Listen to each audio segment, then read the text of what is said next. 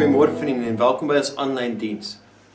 Ons is besig om die Sabbatsrus te ondersoek en vandag is die derde week. Het jy al agtergekom dat begeerte en veral begeerte vir geestelike groei is wat ons dryf, wat ons wat ons Jesus wil laat volg en ons wil laat transformeer om meer en meer soos hy te lyk like en te reageer. Maar begeerte is ook die ding wat ons lewens dryf. 'n Begeerte is wat ons laat opstaan in die oggend. Maar as jy mooi na jou eie hart gaan kyk en dit ondersoek, dan jy sien dat begeerte iets is wat nooit werklik vervul is nie. Daar's altyd nog iets, daar's altyd 'n begeerte vir meer. Selfs 1000 jaar voor Jesus het die skrywer van Prediker ges, geskryf dat die die oog is nooit tevrede om te sien nie. Nooit versadig om te sien nie. Moderne filosowe sê I can't get no satisfaction. Dis Mick Jagger se weergawe van wat die skrywer van van predikers sê. Maak nie saak hoeveel ons kry of bereik nie. Dis net nooit genoeg nie. Thomas Aquinas 'n 'n middeleeuse intellektuele um, reus het het homself die vraag afgevra wat sal dit vat om menslike begeerte te versadig En die antwoord waarmee hy opgekom het was alles. Dit sal ons sal alles moet ervaar en almal moet ervaar en deur almal ervaar word en deur alles ervaar word om werklik versadig te wees. Om werklik ons begeertes tot rus te bring. Maar vriende, om dit te kan doen moet ons tydloos wees.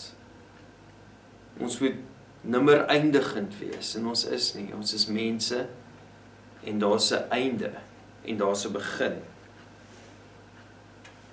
So almal van ons lewe met begeertes wat kronies nie vervul word nie.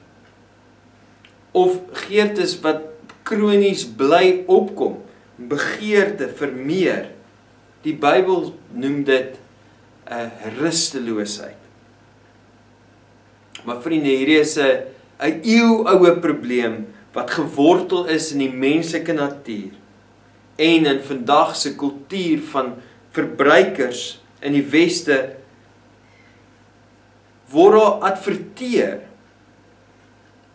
en hulle probeer om hierdie rusteloosheid van ons te versadig. Jy sien 10 teen meer as 4000 advertensies elke liewe dag en hulle is ontwerp om jou te laat voel daarso is 'n daar's 'n onversadigdheid in jou. En dit werk. Ons almal val vir die ou triek, die wortel op 'n stok. Jaag meer geld, meer klere, meer dinge, meer vierkante meter, meer ervarings, meer stempels in ons paspoorte, meer verhoudings, meer, meer, meer. Maar is dit ooit genoeg? Dis net nooit genoeg nie. Rus is altyd net buite bereik. In die ooste noem hulle dit die die wiel van suffer. En dis nie werklik 'n godsdienstige idee nie. Dis eintlik net insig in die menslike kondisie. Hierdie wiel van van lyding is gelaai met 'n met 'n begeerte, met 'n met 'n honger. En is ook gelaai met 'n aversie, 'n afkeer. So ons begeer en ons jaag na wat ons soek, wat ons harte begeer en ons hart loop weg dit wat ons afkeer, dit waarvan ons nie hou nie. En hierdie pyn, hierdie lyding, hierdie suffering hou net aan. Want wanneer ons ook al vang wat ons graag wil hê, dan kom ons agter maar ons het 10 meer. As ons een probleem kry en ons kan dit oplos, dan sit soos hierdie speelietjies van die paddas wat opkom en die, as jy een slaan, kom 'n ander een op. Is daar 'n oplossing? Ja. Die Sabbat. Die Sabbat is 'n is 'n gebruik 'n 'n beoefening van 'n gebruik soos Jesus dit gedoen het. Dit is hoe ons oorlog voer teen hierdie kanker wat rusteloosheid in ons dag en eeu is. En om eerder die die sagte juk en die ligte las van Jesus te vat en rus vir ons siele te kry. Soos ons laas Sondag gesê het, kyk ons na die Sabbat in vier gedeeltes. Die eerste gedeelte is om te stop. Die tweede gedeelte is om te rus. Die derde een is om te onsself te verheug en die vierde een is om lof en eer te bring. So vandag kyk ons na rus. As jy jou Bybel by jou het, sal jy saam met my blaai na Genesis 2 toe.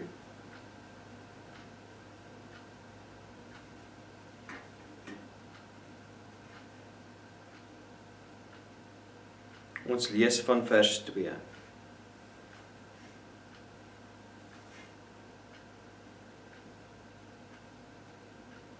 Op die sewende dag was God klaar met alles wat hy gemaak het en hy op die sewende dag na al sy werk gerus. God het ook die sewende dag geseën. Hy het bepaal dat dit afgesonder moet word van al die ander dae omdat hy op daardie dag gerus het nadat hy sy skepingswerk gedoen het. God het gerus. Wanneer ek aan rus dink, dan dink ek eerste aan slaap. Maar ek dink ook dat daar dalk 'n bietjie meer tyd is in die dag om weg te kom van dit wat ek moet doen en dit wat ek ehm um, graag wil doen en net wees. Ek dink aan 'n oomblikke, dalk 'n uur of twee van stilte. Ek dink aan tyd om te ontspan. Maar sien die idee agter Sabbatsrus is ver meer as dit. Dis 'n holistiese rus wat Jesus kom verklaar as rus vir jou siel, vir jou hele mens. Op Sabbat rus ons van werk. Ons rus van alle werk. Werk, nie net dit waarvoor ons betaal word nie, maar ook werk soos taakies by die huis en goed wat gekoop moet word en lysies wat getik moet word ons rus van werk. Maar dit is selfs nog meer as dit. In in sy boek Die Sabbat skryf Rabbi Abraham Joshua Heschel Ons rus selfs van om aan werk te dink. Nero wetenskaplikes het bewys dat as ons selfs net aan werk dink, selfs as jy by die huis besig is om te rus, word dieselfde chemiese um sekresie in jou brein afgeskei. En dis dieselfde as om by die kantoor te wees in die situasie. Ons rus selfs van die gedagte van werk, maar dis selfs nog meer as dit. Ons rus ook van begeerte om te wil hê en van bekommernis. Ons rus van begeerte en bekommernis. Ons klim van die wiel van lyding van suffering af. Wat sê ek soek dit. Ek wil dit hê en ons kom om te rus. Kom ons kyk na die Bybel. Ons gaan na Deuteronomium 5 toe. Daarso kom God na die Israeliete toe en dis die tweede keer wat die wet van van Moses aan die Israeliete gegee word. Nou in Deuteronomium 5 word die wet vir mense gegee wat dalk nie daar was nie of baie jonk was toe hulle in Egipte uit Egipte uitgekom het. Die eerste keer in Eksodus 20 kom mense uit Egipte uit. Hulle is by die berg Sinai en God gee die wet vir Moses en Moses leer dit lees dit voor aan die volk. 40 jaar later kry ons Deuteronomium 5 vers 12. En hierdie um Sabbatswet word opnuut gegee. En daar's twee verskille. Nou as jy kan onthou wat ons laasweek gelees het, kyk of jy dalk daai verskille kan optel. Hou die Sabbatdag heilig, soos wat die Here jou God jou beveel het. 6 dae lank moet jy aangaan jou werk en jou take afhandel. Die 7de dag is die Here jou God se rustdag. Op die dag mag niemand in jou huishouding enige werk doen nie. Nie jy, jou seuns, jou dogters, jou slawe, jou slavinne, jou beeste en donkies of ander diere of enige vreemdeling wat by jou woon nie. Al jou slawe en slavinne moet rus soos jy. Onthou dat jy vroeër dat jy vroeër slawe in Egipte was en dat die Here jou God jou met groot krag en magtige dade daar uitgebring het. Dit is waarom die Here jou God jou beveel om die Sabbatdag te vier. Nou ons kan na verskeie vertalings kyk en ons sal sien dat die die eerste verskil is klein. Die eerste verskil um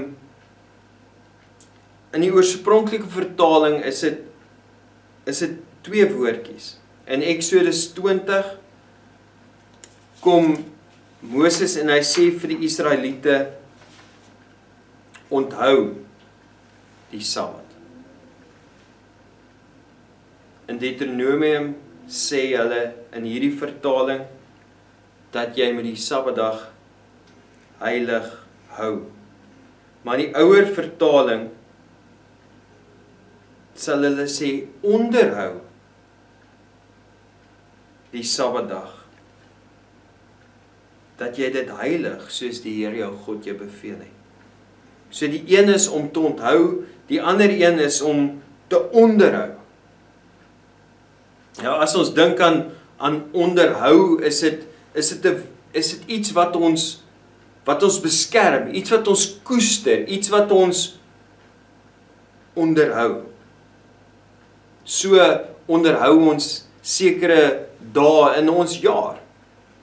Ons as 'n gesin onderhou um ou Kersaand. Daar's ons beplanning en daar's 'n seremonie in ou Kersaand. Ons on, ons onderhou ook um erfenisdag. Nasionale braaidag. Want op daai dag maak ons vier en ons braai. En ons hou baie daarvan om om Paasfees te onderhou. Om Paasfees te vier, um, om Jesus se dood en sy opstanding te vier. En ons het sekere seremonies en en rituele as jy dit so wil noem om op daai dae spesifiek te onthou, om daai dae te onderhou. Dit is die idee hierso dat die Sabbatdag soos 'n weeklikse vakansiedag sal wees Ons beskerm dit. Ons beplan vir dit. Dis nie net nog 'n dag nie. Dis waarom die die Joodse gebruik vir die begin van 'n Sabbat ehm um, steek hulle twee kersse op. Een kers om hulle te herinner aan die eerste keer wat hierdie wet aan hulle gegee is om die om die Sabbatdag te onthou. En die tweede een vir die tweede keer toe dit gegee is om die Sabbatdag te onderhou. Dis die eerste verskil.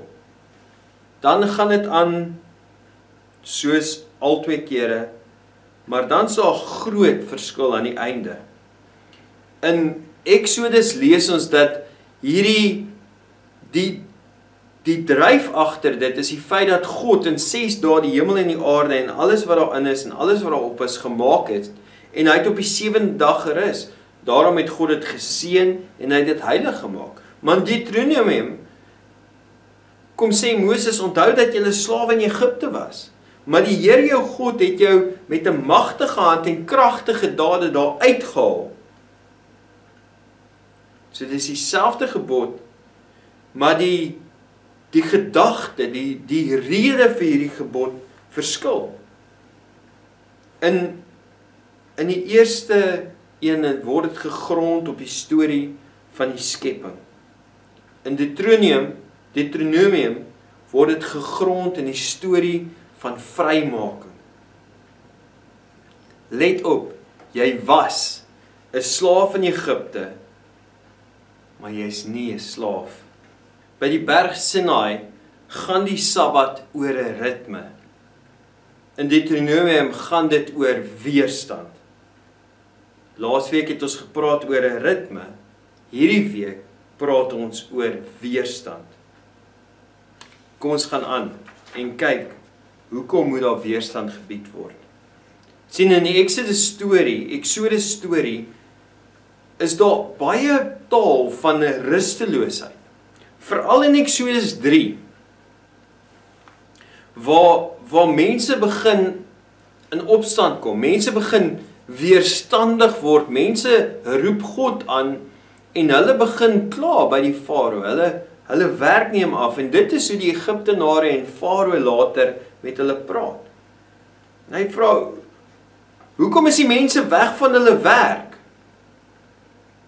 Bring hulle terug, laat hulle werk. Maak die werk harder. Laat hulle aanhou werk. Farao sê: "Lui. Julle is lui." Dit is hoekom jy aanhou sê: "Kom ons, laat ons gaan na die Here ons God om offers aan hom te bring." gaan werk man. Julle sal geen strooi gegee word nie. Maar julle moet nog steeds dieselfde hoeveelheid bakstene maak. In hierdie storie is Farao hierdie tiran. En dit maak nie saak hoe hard hierdie Hebreëse mense werk nie, dis nooit genoeg nie. Hulle lewe onder hierdie juk van 'n daaglikse kwota, meer, meer, meer. En dit was nie net Farao nie, dit was hele sosio-ekonomiese stelsel in Egipte. Israel het stene gemaak, bakstene om stede te bou. Stede van voorsiening. Stede wat in geheel en al gebou is vir al Farao se ekstra goed. Dit was 'n ekonomiese stelsel wat op die rug van slawerny gebou is maar om hierdie om hierdie leefstyl van 'n farao en 'n Egiptenaar te kan leef, het jy goedkoop arbeid nodig terwyl jy rus. En slawe kry nie Sabbat nie. Slawe is nie eers mense nie. Hulle is iets wat jy koop en verkoop. Hulle waarde is net in dit wat hulle kan doen. Hulle werk elke dag, heeldag tot hulle doodgaan rus kom wanneer jy vrou vrygemaak word deur God. So die bevel is om te onthou dat jy nie meer 'n slaaf is nie. Jy's deel van 'n nuwe koninkryk. Jy's onder 'n nuwe koning. Daar's geen daaglikse kwota nie. Daar's geen slawe drywer oor jou kop wat sê meer, meer nog nie. En dit beveel ook in hierdie gebod in Deuteronomium 5 om te onthou om nie self 'n slawe drywer te word nie. Daarom beveel God spesifiek nie jou slaaf of slaafin nie, nie jou bees of donkie of ander diere nie, nie eers die bywoner of uitlander wat by jou is nie. Almal rus op hierdie dag. Maar sien hierdie hierdie gebruik hierdie Sabbatsrus is nou nog meer belangrik want Farao en die koninkryk van Egipte is nog steeds lewendig en floreer. sien in die Bybel word Egipte gebruik as 'n as 'n tipe 'n 'n tipe koninkryk en later sien ons hierdie tipe koninkryk in Babylon. Dit was 'n werklike koninkryk. Maar dit was ook 'n simbool van koninkryke wat sal kom. Ons uh, lees van die globale rykdom piramide. Die die die globale welstands piramide. Global wealth pyramid. En die die onderste 70% van mense beheer 3% van die wêreld se se inkomste. Se rykdom. Die boonste 0.6% beheer 40% van die wêreld se rykdom, se skatte. Dink jy nie as jy dit kyk, is jy deel van die boonste deel van die piramide. Maar hierdie feit bly staan. Egipte is aaklig as jy 'n slaaf is. Maar dit is nie so erg as jy Egiptenaar is nie. Onder hierdie piramide is daar honderde, duisende, miljoene mense wat elke dag werk om klere en skoene en selfone en karre te bou. Ons dink slawerny is verby, dis iets van die verlede. Maar sosiale aktiviste sal jou vinnig vertel dat Meer as 40 miljoen mense in hierdie wêreld vandag as slawe geklassifiseer word. Mense met geen um regte nie, met 'n minimum inkomste ver onder 'n gemiddelde inkomste en meeste van hulle vrouens en kinders is. Vriende, ek het geen politieke agenda nie. My, my punt is net dat Egipte nie 'n historiese nasie of staat is nie. Dit is 'n dit is 'n 'n tema, dit is 'n 'n tipe koninkryk wat 'n kultuur van rusteloosheid skep. En ons kan hulle sien in baie koninkryke op hierdie wêreld waar daar net 'n begeerte is vir meer en meer en meer.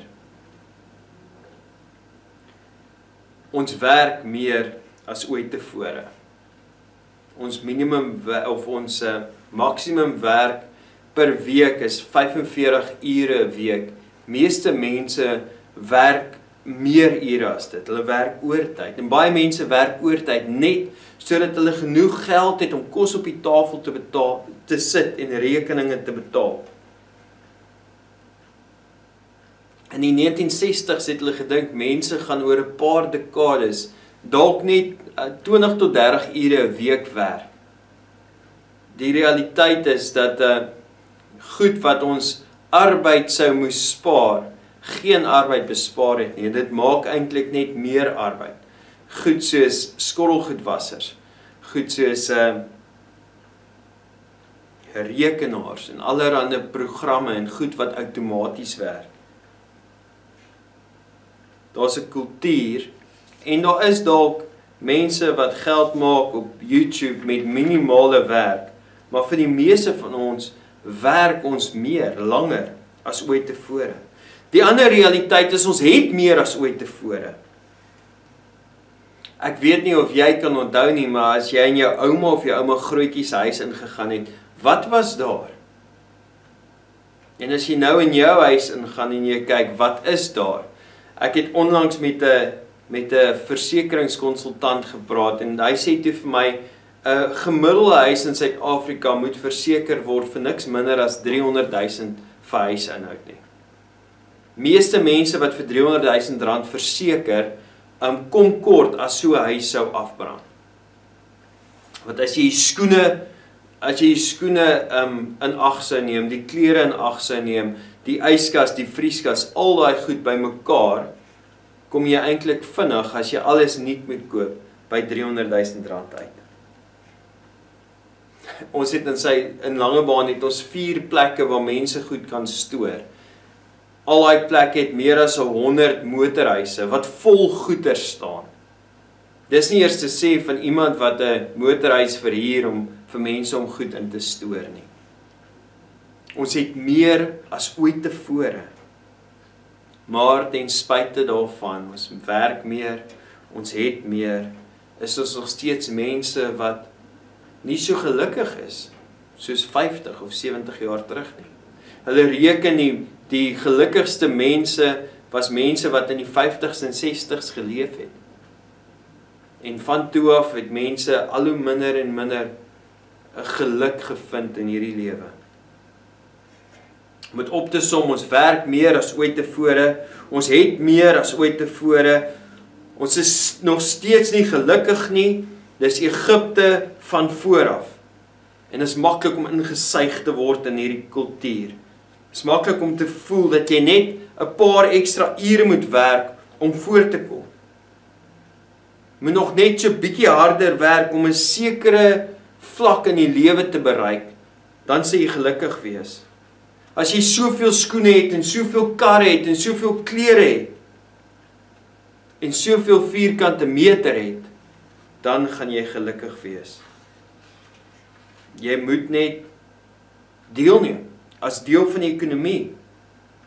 Selfs as hierdie ekonomie, hierdie stelsel die aarde en baie arme mense seermaak. Dis maklik om te sê dis maar net hoe dit is. Maar dit hoef nie so te wees nie. Luister. Weerstand. Ons moet weerstand bied. Dit is dit is om teen Farao en sy sy um, koninkryk te gaan wanneer ons met ons liggame sê dis genoeg. Genoeg werk. Ons bied weerstand. Werk is 'n goeie ding. God het dit geskape, maar dis nie die ding nie. Genoeg goed. Goed is goed. Dis nie sleg nie. Maar meeste van ons het meer as genoeg. Sabbat is 'n manier om hierdie verslawing te verbreek van om iets te bereik, hierdie hierdie twee gode van die weste. Dit wat jy bereik en dit wat jy bymekaar maak. Later in die Ou Testament sien ons dat op hierdie Sabbatdag daar beveel word dat daar nie gekoop en verkoop sal word nie. Ons probeer dit as 'n gesin om nie te koop en te wel, nie te koop nie, ons verkoop nie regtig iets nie. Maar dis moeilik. Dis moeilik want want alles is oop en alles gaan aan soos normaal. En dis nog dis nog moeiliker as jy sit met 'n seun wat 'n tiener is en 'n dogtertjie wat dink sy is 'n tiener. Want hierdie kultuur waar ons lewe, um roep uit en sê jy meer, soek meer, jy wil meer hê. En ons moet 'n lyn in die sand trek en sê nee, dis genoeg. Ons moet weerstand bied. En ons moet vir onsself sê dis genoeg. Selfs om iets te bereik en om goed bymekaar te doen te maak is nie dis nie verkeerd nie. Dis nie boos nie. Dit kan selfs goed wees. Maar daar's 'n limiet. Daar's 'n beperking. Op een of ander stadium moet jy 'n lyn in die sand trek en sê so ver en niks meer nie. Ek hoef nie meer ure 'n week te werk nie. Ek hoef nie meer geld te maak nie. Ek hoef nie 'n nuwe kar te koop nie. Ek hoef nie die die beste in die klas te wees nie. Ek hoef nie 'n perfekte lyf te hê nie. Ek hoef nie 'n perfekte um huis of um erf te hê nie. Ek hoef nie my aardse pa se goedkeuring te verdien nie. Want ek het my hemelse pappa se goedkeuring. Onthou, Farao en sy hele weermag is op die bodem van die Rooi See. Ek en jy is vry. Al wat ons hoef te doen of al al wat ons hoef te besef is dat ons alles het wat ons nodig het om in God se wêreld te floreer. Ons is 'n nuwe koninkryk.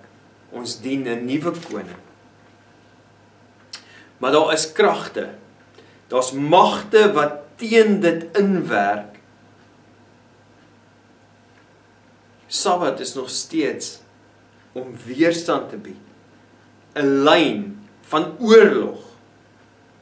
Wat beteken dat wanneer ons die Sabbatsdag beoefen, ons weerstand sal ervaar. Ons moet dit bied, maar ons sal dit ervaar. Daar's 'n eksterne weerstand wat jy sal voel. Hierdie wêreld, ons kultuur is 'n sabbatlose, ritmelose, hol jou siel uit kultuur. Wanneer jy wil sabbat, gaan dit beteken jy gaan intentioneel moet wees.